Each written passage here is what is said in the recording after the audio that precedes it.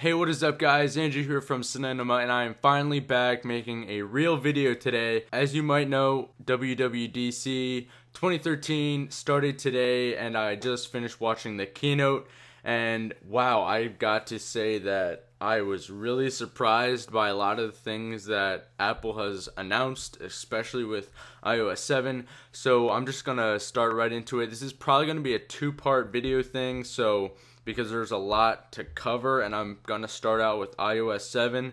So let's get into it. First off, it is the biggest change they've ever made, like since iOS has been in existence, basically. They completely redesigned their interface. Uh, they they redesigned all the icons, all the apps. Uh, the the icons have brand new colors, and they focused very heavily on this idea of translucency. Uh, it just looks incredible. Uh, if you go to apple.com, you can check all this out for yourself if you don't want to watch. But I mean, I gotta say, it's pretty awesome. They made a brand new lock screen. And it just looks fantastic. So, uh, anyways, let's let's get on with it. Some new things that they have introduced is something called Control Center, which you basically slide up from the bottom and basically you can instantly change things like brightness. You can turn on a flashlight using the, the flash on your camera. You can basically access those quick settings that that you really use all the time like silent mode all, all that sort of stuff. They improved multitasking which all apps are now supported with multitasking it basically makes the phone more intelligent and you can swipe between the apps. Beforehand, you, you just had the bar at the bottom. Now it takes up the entire screen and you just flip through and you can see all running apps. Next, they've improved Safari, which takes on a new full screen look and they have new features like search field, which basically I it was kind of hard to tell because they were talking really quickly in a way.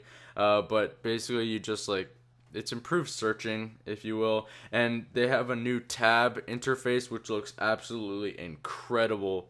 Uh, it, it, looks really, really nice. I've got to say, I'm so surprised. Uh, they have a new feature called AirDrop, which basically is easy sharing with multiple people especially with the people around you. iCloud photo sharing is also involved with that, and videos are shareable as well. Next, they have improved the camera a little bit more. Uh, it's like a 4 in 1 camera, simply swipe to change the cameras. Also, they have made a feature where you can easily edit them and add live photo filters to all of the photos you take.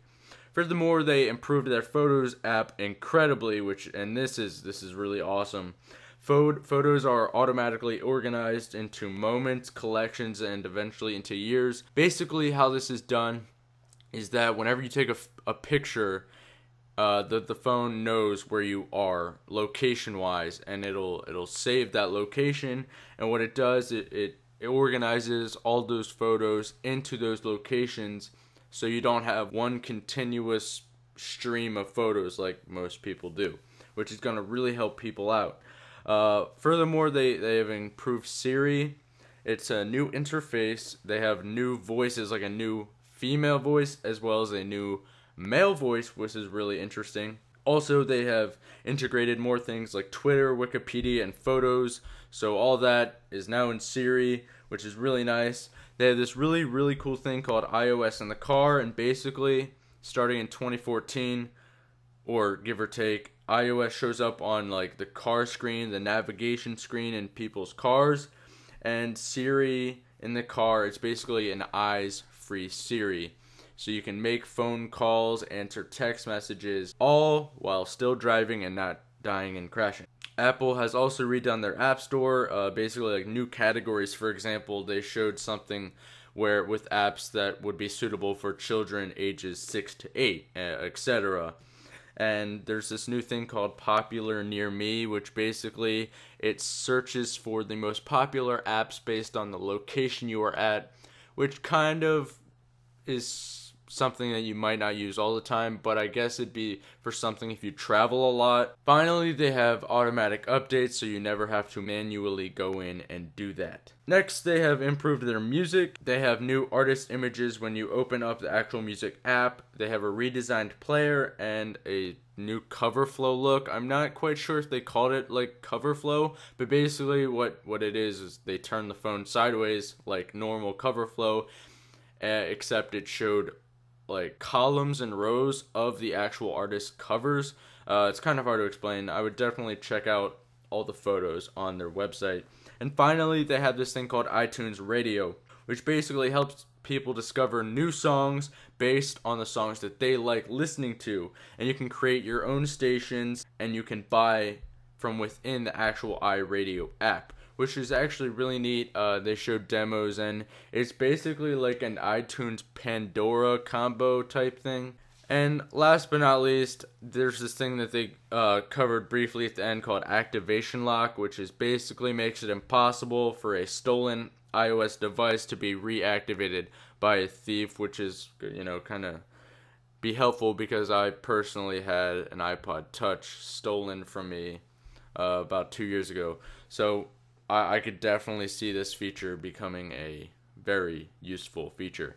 Uh, and finally, it's going to be coming in the fall, which basically kind of sucks because this is like the first iOS release where they've actually done something like, hey, I want to see this right now. But anyway, guys, thank you for watching this video about iOS 7. I'm super, super duper excited to learn about as much as I possibly can. So I definitely recommend going to apple.com to check it out for yourself.